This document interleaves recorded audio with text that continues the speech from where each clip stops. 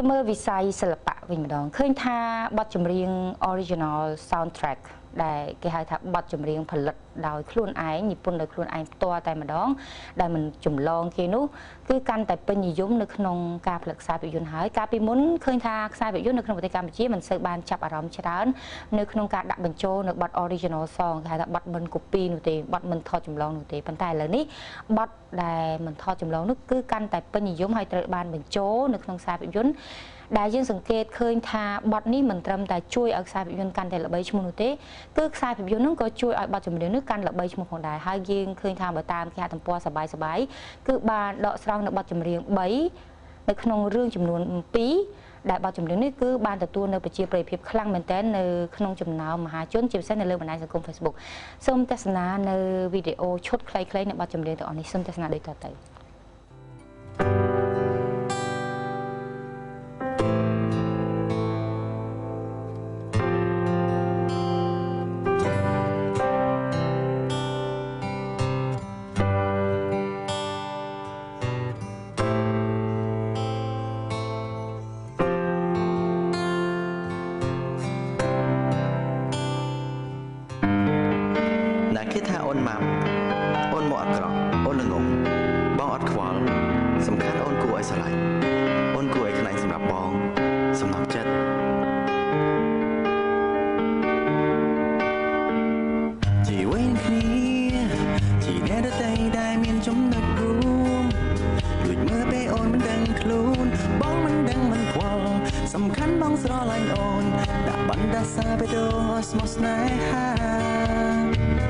ធ្វើជាខ្លួនឯងតែខ្លួនឯគេថា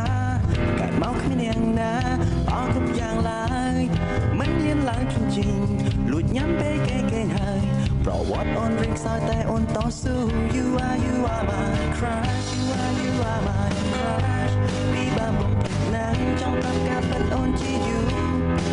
និស័យធ្លាប់អត់ខំប្រប់បែបបងទៅជា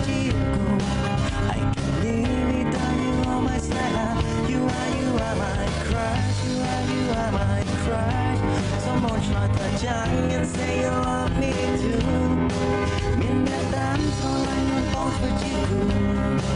ជួយចាំការតស៊ូដែលអូនបងហើយបង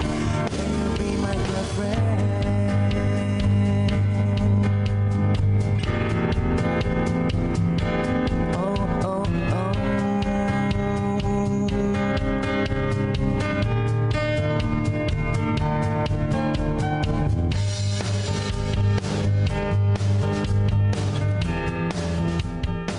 ចាសូមទស្សនិកជនស្ដាប់បទចម្រៀងមួយទៀត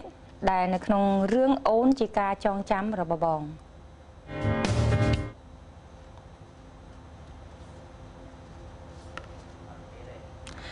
ចាដោយសារតែបញ្ហាបច្ចេកទេសយើងមិនអាចយកបទចម្រៀងទី2បានទេក៏តែទស្សនិកជនបានឃើញហើយគឺនេះគឺជាបទចម្រៀងដែលនៅក្នុងរឿង You Are My Crush អឺសិស្សប្អូនសំណប់ចិត្ត ដែលរឿងនេះគឺផលិតដោយផលិតកម្មរកហើយបានទទួលនៅការគ្រប់គ្រងជាច្រើន នៅពីសំណាក់បងប្អូនទស្សនិកជនហើយបទចម្រៀងនេះ គឺច្រៀងដោយយុវយុវវ័យយុវជនពីររូបគឺម៉ាចាន់បញ្ញាហើយនិងសៃដែលគាត់ផលិតគាត់បានហៅសរសេរនិពន្ធបទភ្លេងទំនុកច្រៀងនេះដោយខ្លួនឯងហើយគាត់ក៏សប្បាយចិត្តដែរដែលបានចូលរួមនៅក្នុងការផលិតបទចម្រៀងទៅឲ្យខ្សែភាពយន្តដែល